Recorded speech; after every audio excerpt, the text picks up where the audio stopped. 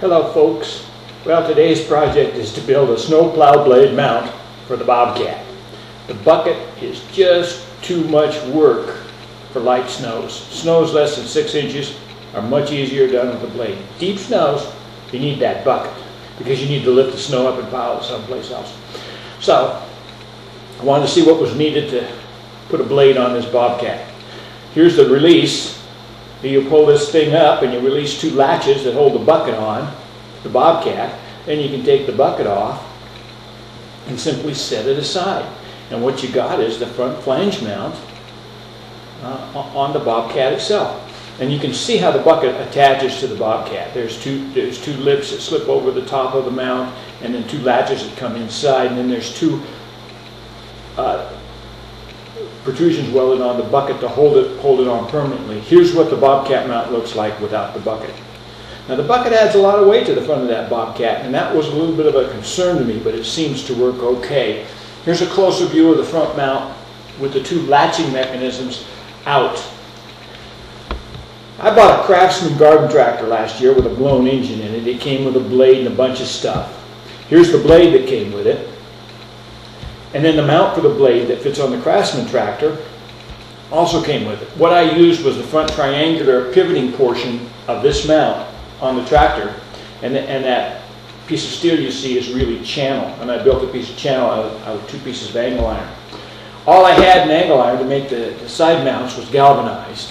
In any event, here's the side mounts with the holes cut in them for the latching pins. And I drilled and filed those holes out. Actually, it was pretty easy and made sure that these pieces of angle iron would fit flat up against the Bobcat mount.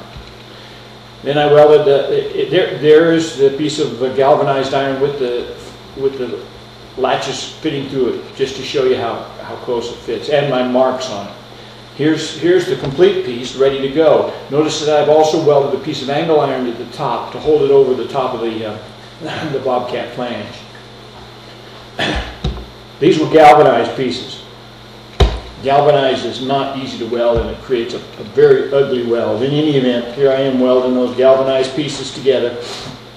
Here's both pieces on the tractor as they would fit once the snowplow blade is attached to the tractor. Uh, here's, here's, just another view of that, of that same thing, kind of give, to kind of give you a little idea of, of the detail involved. And then here's the piece of angle iron welded to the actual top of the mount. Then I capped that angle iron so that it wouldn't slip off either direction. The next thing I did was I built the snowplow blade mount out of two pieces of channel, uh, out of two pieces of angle iron to create a channel.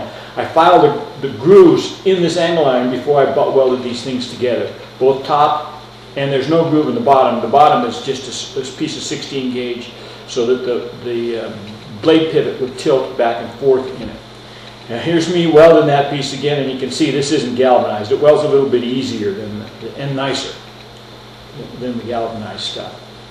So what I ended up with was a, a short piece of uh, channel that I could bolt the blade mount to, and the blade angle lever uh, slipped into the into the holes as well, and, and would, would would rotate back and forth. Bottom view of the blade mount and the top view of the blade mount with the gussets made from the 45 degree angles I cut off the end of that big angle iron um, main mounting bracket there. Then I tilted the, the bracket 45 degrees right and 45 degrees left and made sure that the, the clearances were okay. I also did this once it was on the tractor. Here's, here's the other direction. There's my welder in the background. It's a Miller welder, 110 volt, up to quarter inch, great. Don't buy a Harbor Freight welder.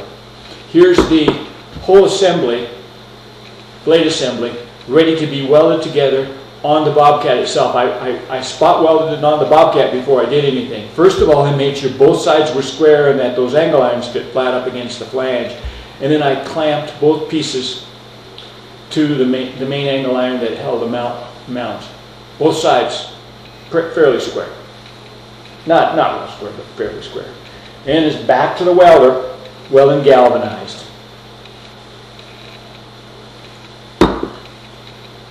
So the, the, the main piece of angle iron that holds the mount and the galvanized sides, the main piece is not galvanized, the sides are galvanized. I, I cleaned these with a wire brush, tried to get most of the galvanized stuff off, and it, it seemed to do a little better. The welds look a little nicer, but still they're, they're uh, spattered. Here's the spring that holds the latch that controls the pivot in place. There's a bottom view of that same thing with a roll pin that goes through that latch so that it pivots on that roll pin. Now I cut all these grooves before I did any welding, and I cut them with a, with a, a four inch angle grinder. There's the whole thing put together. You grab that latch, pull it back, and you can rotate that front thing 45 degrees either direction or put it uh, uh, vertical. There's the whole blade mount ready to fit onto the Bobcat. That's a front view of it. There it is on the Bobcat.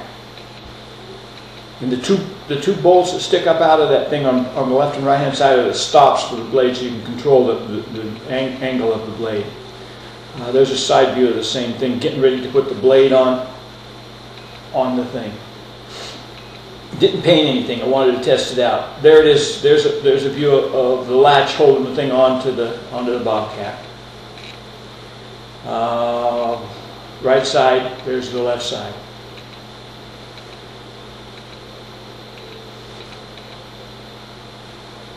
So what we're going to do now is, uh, oh, there, there's the top. Just a little view of the detail. Remember, I welded a piece to the side so that it wouldn't slip off the top. Um, and now I'm going to get ready to put the blade on this whole mechanism. Okay, there's the blade. I slip it over the, the rod on one end, slip it, bring it over, slip it over the rod on the other end, and attach two hairpin clips, one on each side of the blade. Here's here's the, the left side of the blade. Then let's look at the right side of the blade, just attaching the hairpin clips. That's all that holds that blade on there, aside from the spring.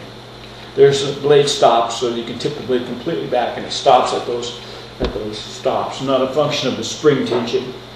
The next thing you do is, is slip the spring through the main pivot bolt and then stick the spring bolt up through the top of the blade and tighten it down. I tightened it down pretty tight so they have a lot of spring tension.